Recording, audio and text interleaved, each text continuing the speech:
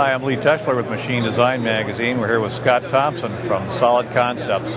Scot's going to tell us a little bit about a rapid prototyping process called ID Light. Scot, what exactly is ID Light? ID Light stands for Industrial Design Light. Stereolithography has been around since 1989, where a laser beam is used to solidify a liquid polymer one thin layer at a time. So you can take CAD data directly from your CAD system and produce uh, any geometry. Now, what we've done is we've developed our own polymer and our own build style to take what would be a very heavy model.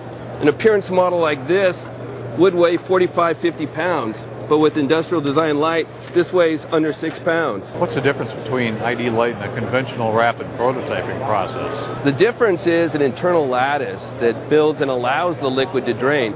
The internal chamber doesn't need all that liquid, so we drain it out, don't charge the customer for the time nor the liquid.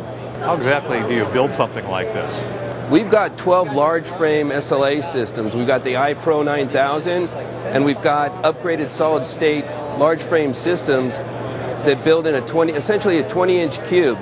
So you've got a laser beam interacting with the free surface of a liquid polymer that creates one thin layer at a time. In this case, about six thousandths of an inch layer sections are built one upon another, and then the part will come up and the liquid drain off. And whatever's not whatever's not solid just drains off and we can reuse that.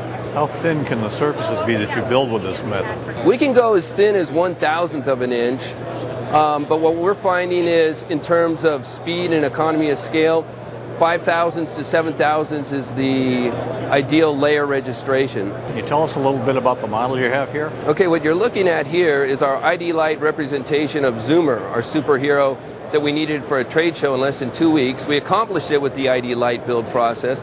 If, if this fellow was made with the standard conventional stereolithography process, he'd weigh well over 300 pounds, about 360 pounds actually. I weighed him myself. This guy weighs 29 pounds. Now that's a body mass index less than Tiger Woods, less than Lance Armstrong. In fact, it's a body mass index of probably, I think it's three.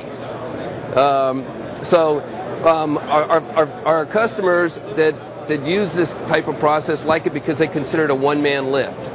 One man can lift uh, what would normally be in a heavy appearance model looks looks stout and robust, but this guy again is only 29 pounds. When you design something for ID Light, what's the design process look like? Our our, our customers typically start with a conventional computer-aided design workstation, whether it be SolidWorks, Pro Engineer, CATIA, whatever the case may be, and they'll design a, uh, a fully defined solid object, and then the software automatically cross sections the data into thin layers and the technology is, is called layer additive technology. So we'll build one thin layer at a time, extracting the CAD data. Is there anything special about the stereolithography method used to do this?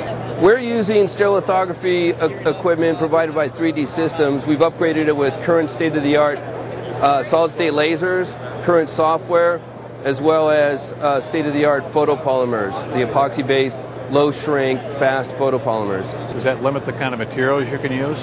Yeah, you're limited to a photopolymer. Um, photopolymers are always advancing, yet they're advancing incrementally in terms of mechanical properties, durability. Here's an example of a current photopolymer. It's got a white ABS appearance. It's it's it's tough. It's accurate. Customer can use this for a robust working prototype. However, if the customer wants to do even more robust prototype, we can use this as a master pattern for our advanced cast urethane process. We call that quantum cast.